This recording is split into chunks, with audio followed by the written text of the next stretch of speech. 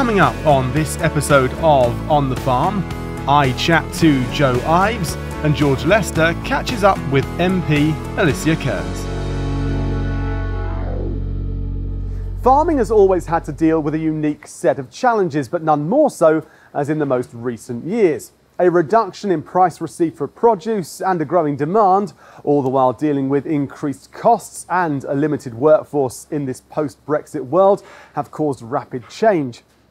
Many farmers are now turning to more and more technology to help claw back that much needed profit, all the while doing so while focusing on their climate impact.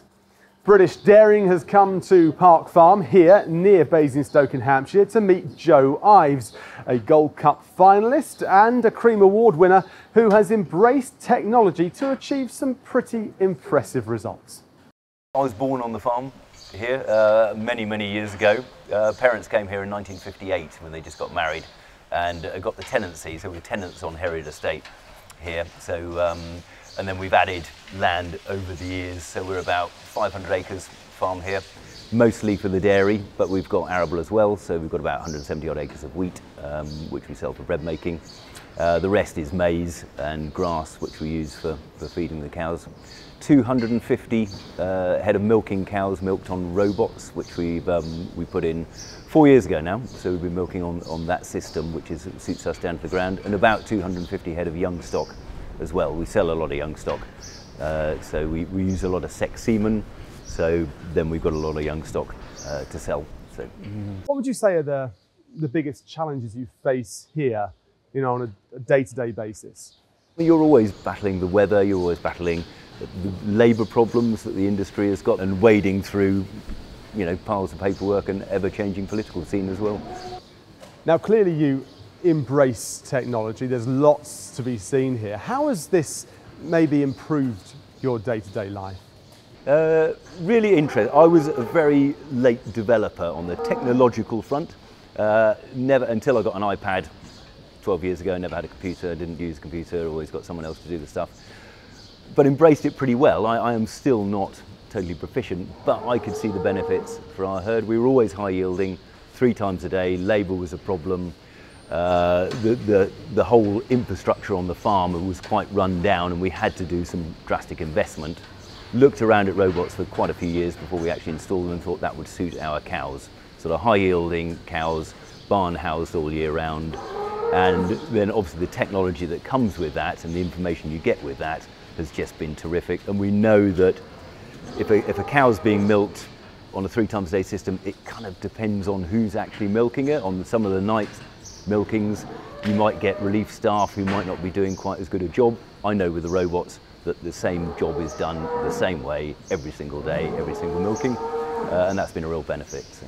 So. what sort of technology do you have here on the farm? You've got the robots, of course, but what else? I mean, the cows have got these rather fetching collars on.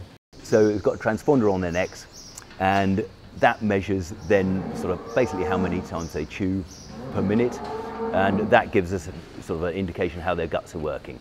The robots got weigh cells on them, so we weigh the cows every single milking. They analyse all the milk, uh, temperature for mastitis, and analyse all that, and for butter fat and protein, so we get real live data on that. So all that information, the different information is fed back to the computer, gives us emergency lists straight away. It was the first place we look in the morning and afternoon when we come in and tells us which cows are performing well, which cows aren't performing, which cows are coming on heat, which cows might, might be going down with a problem before you'd ever notice it normally. So, so the data and then learning how to use that has been a real bonus and our team have embraced that and it's aided them and helped their, helped their work significantly actually and, and, and cow health. So before we put in robots we were 17 milligrams of antibiotic per livestock unit which is still pretty good now we are down about five milligrams per livestock unit, which is almost, well, below in some cases organic levels. Just because the data we're getting, we can just go in with non-antibiotics first and, um, and treat, treat any cows that might be going to get a problem before they actually get a problem. Investment in technology, now that's quite a, a lot up front, quite a big initial investment. How quickly do you see a return on that?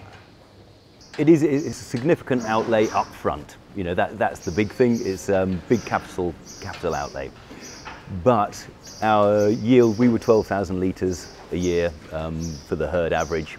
Before that, we are now about 14,000 litres a year, so we've gone up 2,000 litres, not just because of the robots, but also work we've done on the cubicles and housing and everything else as a, as a whole. So that extra 2,000 litres per cow, you could say, is, is, attributed to the work we did on the robots and everything else.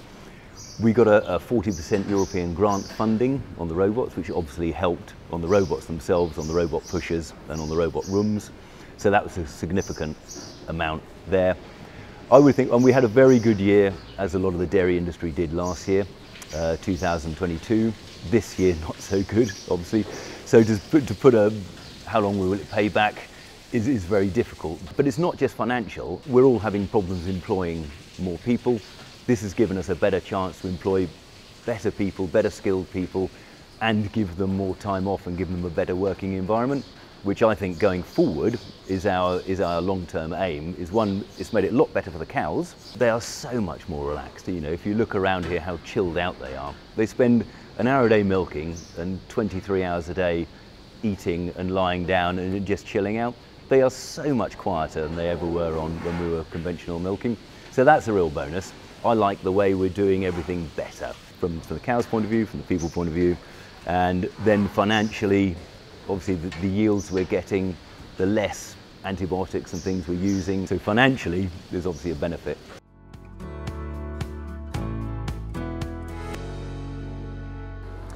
Technology is clearly a positive for Joe, but what about the impact farming has on the climate and the role UK government has to play?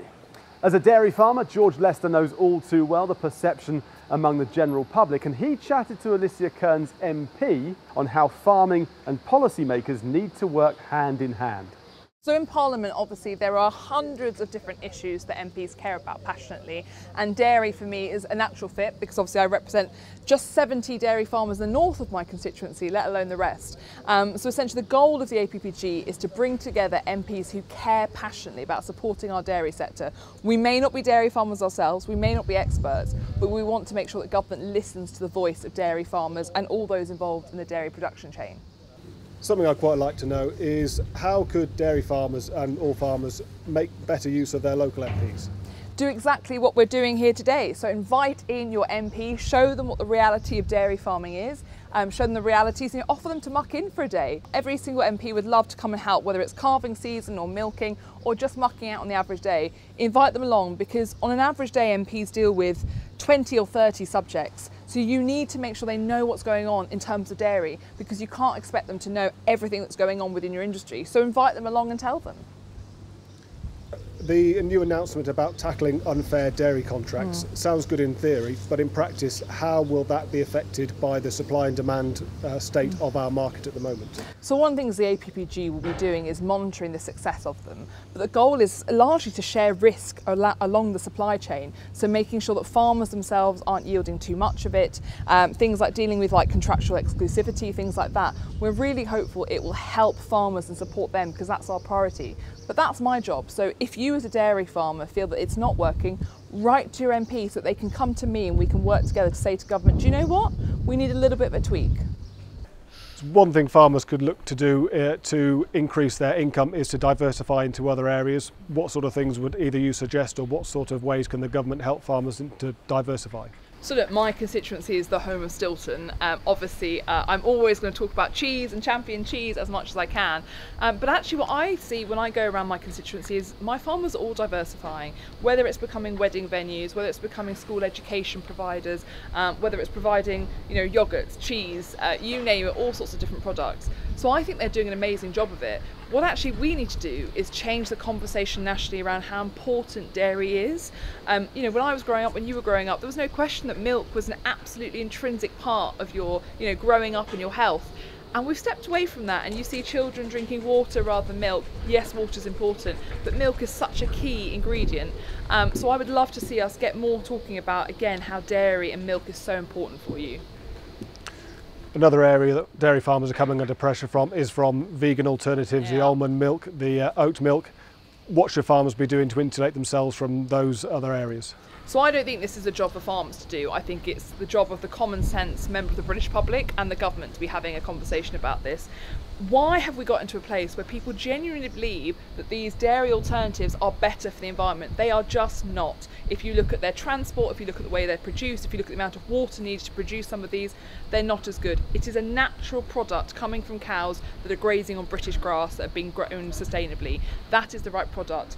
And actually what we are starting to see now is actually a lot of these vegan, you know, fake bacon and other products they're actually diminishing in sales, at least in my part of the world, although we are steadfast supporters of farmers uh, in Rutland, Melton, the Vale and Harborough villages.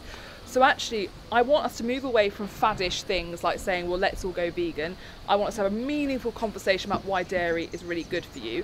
And I want us to get rid of this appalling narrative that these vegan militias and climate extremists are running around with, where they're suggesting that the milk coming out of these incredible cows isn't good for you and isn't actually that locally eating local is much better than eating soy and avocados from across the other side of the world. So do you think your thoughts are reflected across the government from the Department of Health and things like that? So I think there is a systemic problem where both Department of Education and Department of Health need to do more in terms of A, the education around local food. So, you know, home economics classes, young children in schools, they should be learning about why dairy is so important. But the Department of Health needs to do a lot more to make sure, in the same way that we make sure we educate people about breastfeeding, we need to make sure we're educating about the benefits of milk for young people and actually people throughout their lives one of my pet concerns is that UK dairy farmers are being forced to reduce their carbon footprint even further when we would be better served selling our low carbon milk around the globe and allowing other countries to focus on more um, carbon reducing measures in their own countries. So we in the UK produce so much low carbon milk and it's really important that we export that around the world. And I think exports can be a real boon. But whilst we are transitioning towards net zero, we need to do so without harming the livelihoods of dairy farmers. And so it is a sensitive balance. But if there's a choice, of course, we should be leading by example and we should be exporting more of our milk because others should be adopting and more sustainable models like the UK does. The world's population is expected to be 10 billion by 2050 how do we balance this with the, the reduction in food production in the UK? So I think we have a duty to increase agricultural output. We are an incredible producer of outstanding high quality food done in incredibly sustainable manners. We already have a global food crisis. Put on that the renewed illegal invasion of Ukraine, we have a duty to lead actually. And so I actually want to see an increase in agricultural output. And if you look at the conversations in Parliament, that is clearly what all parliamentarians want to see. Farmers are already seeing increased costs with complying with the current legislation to do with carbon footprinting, and there's predicted to be more coming in the future. Over the next 10 years, there could be up to 2 billion of extra costs uh, that farmers will have to at the moment find in order to comply with things like the Clean Air Act. Yeah what can be done to help smooth the transition, smooth those payments to farmers? Sure. So in the immediate, my priority is how do we deal with the input costs? So, you know, fertiliser, feed and energy, making sure we don't see even greater inflation around those. But long term, I, I think we have to have an honest conversation with the public. If you want the highest quality milk in the world, if you want something that is organic, sustainably farmed, locally farmed, you will have to look at paying slightly more for that because actually it's about the food chain. What we shouldn't be seeing is supermarkets as we currently do, which is what we're trying to deal with with the new contracts, just driving down farmers and ultimately driving them out of business. I think there is a responsible conversation to be held with taxpayers and with consumers that people aren't always willing to have. Um, but this is about supporting your local economy and I think after the pandemic in particular, people are more aware of the fact that shopping local, supporting local matters, but they've fallen back into those bad habits of going back to the big conglomerates when they want to do their shopping. So I think actually a responsible government would have a responsible conversation.